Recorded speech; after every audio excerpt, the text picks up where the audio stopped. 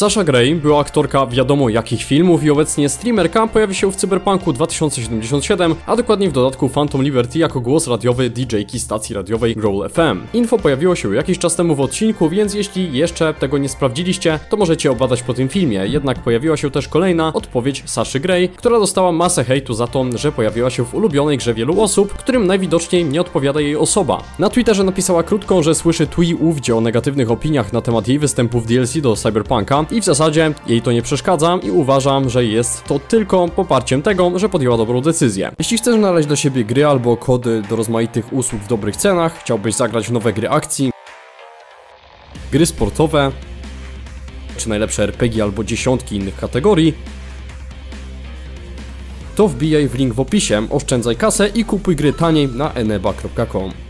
CD Projekt Red pochwalił się też ostatnim miesiącem, który dla Cyberpunka był udany i to bardzo. Pamiętamy wiadomość o 20 milionach sprzedanych egzemplarzy gry, a teraz Redzi wrzucili na Twitterze info, że przez 4 ostatnie tygodnie, dzień w dzień w Cyberpunka grało milion osób. Gra przeżywa niezły renesans i Redzi faktycznie mają powód do dumy, bo Cyberpunk wyszedł jeszcze w grudniu 2020 roku i nadal robi ogromne liczby, a pamiętajmy, DLC jest jeszcze przed nami. Fani Silent Hilla mają się czym jarać, bo zapowiedziano masę gier z tego uwielbianego przez graczy uniwersum uniwersum, a stało się to podczas pokazu Konami, gdzie zaprezentowano Silent Hill Townfall, Ascension i F. Możemy zacząć od Townfall, którego trailer przedstawiał prosty komunikat o tym, że czekają nas ciekawe czasy podczas bycia zamkniętym w pewnym miejscu. Za grę odpowiada studio No Code, które stworzyło na przykład Stories Untold, a wydawcą zostało Annapurna Interactive. Silent Hill Ascension opowiada natomiast historię grupy, która będzie podejmować wspólne decyzje i co za tym idzie, będą też budować własną historię. Tu też trailer totalnie nic nie mówi, poza tym, że widzimy ludzi, którzy wymieniają ze sobą sobą wiadomości. Tworzą go Genvid Entertainment, Bad Robot Games, Behavior Interactive i DJ2 Entertainment, natomiast premiera planowana jest na lipiec 2023 roku. No i wreszcie Silent Hill F, pozycja, która została zaprezentowana najlepiej z tych trzech, bo dostaliśmy ponad dwuminutowy trailer, w którym widzimy dość unikalną, biorąc pod uwagę założenie Silent Hill, oprawę graficzną. Czarno na białym mamy też przedstawione, że będzie to Japonia, a dokładniej lata 60. XX wieku. Grę tworzy Neobart Entertainment, którzy odpowiadają za Resident Evil Resistance czy Resident Evil Reverse.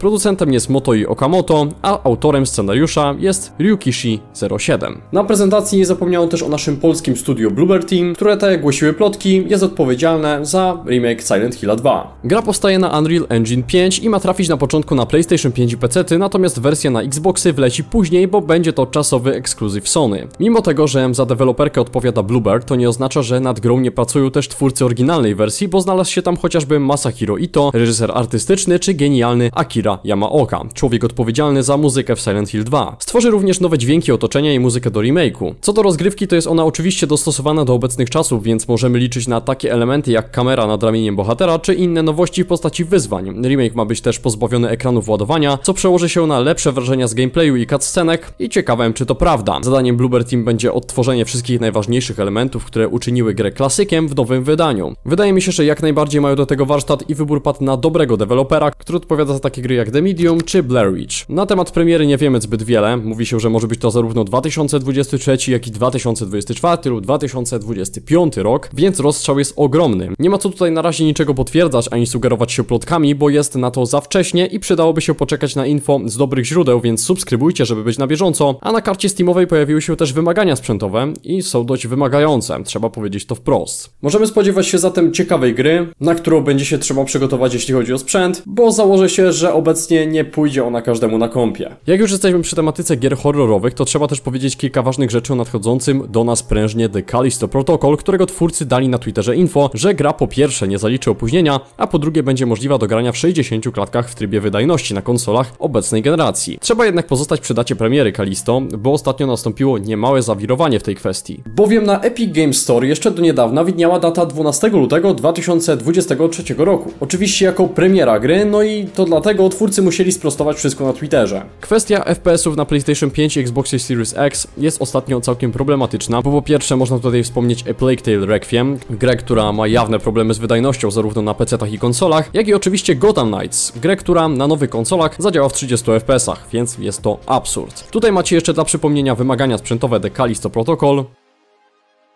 A tutaj Gotham Knights, które jak widać górują jeśli chodzi o procesory, bo gra zaoferuje kooperację, jak i szczegółowy, otwarty świat Gotham, więc kwestia dobrego procesora jest zrozumiała i mówi się, że jest to główny powód tego, że Gotham Knights będzie działało w niskim klatkarzu na konsolach. Nadal brakuje tutaj ustawień ultra, bo mamy jak na razie minimalne i wysokie, więc jeśli takowe się pojawią, to twórcy mogą zaskoczyć nas nawet poziomem kart graficznych potrzebnych do zagrania na maksymalnych ustawieniach. Premiera już jutro, więc napiszcie, czy macie zamiar zagrać. Sieciowa strzelanka w świecie The Last of Us została zapowiedziana kilka miesięcy temu i nadal nie wiemy na jej temat praktycznie nic, ale pojawiały się pewne informacje, którym trzeba się przyjrzeć. Nim zaczniemy, warto jednak przypomnieć, że Herman Holst, szef PlayStation Studios, powiedział kiedyś, że nie wszystkie gry mające docelowo ukazać się na PC i PS5 będą wychodzić na komputery z opóźnieniem. Wiceprezes Naughty Dog na łamach bloga PlayStation wypowiedział się też o Uncharted na PC.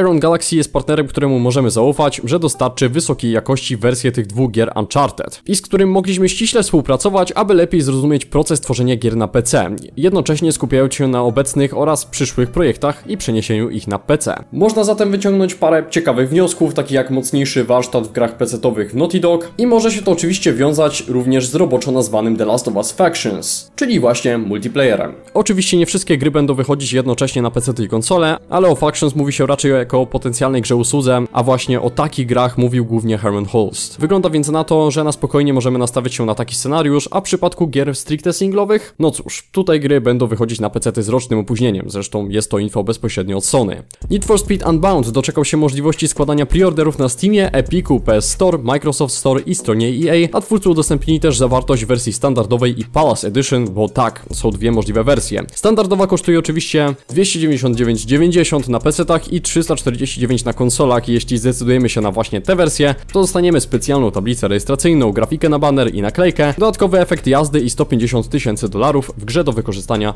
w multiplayerze. Natomiast wersja pałacowa kosztuje 349 zł na PC, 389 na PS5 i 399,90 na Xboxach i zawiera rzecz jasna elementy z tańszej wersji, a oprócz tego jeszcze inne efekty, jazdy Gassi, kolejną tablicę rejestracyjną, nową pozę postaci w grze i grafikę na banner oraz pakiet odzieżowy dla naszej postaci, który składa się z 20 nowych elementów. Czy warto kupować tę droższą wersję? No według mnie totalnie nie i wystarczy mi już te 300 za standardową. No i nie zapominajmy też o możliwości zagrania w 10-godzinną wersję próbną nadchodzącego NFS-a, co będzie można zrobić już 29 listopada, albo w ramach usługi EA Play, EA Play Pro, albo Xbox Game Pass Ultimate. Z taką różnicą, że abonenci EA Play Pro będą mieli dostęp do wersji Palace, a jeśli już zagracie te 10 godzin, to wszystkie zapisy przeniosą się do gry po premierze. O Evote, mocno wyczekiwanej grze od Obsydianu, jest cicho już od jakiegoś czasu. Ostatnimi nowymi doniesieniami było chyba to, że możliwe, iż gra powstanie na Unrealu 5.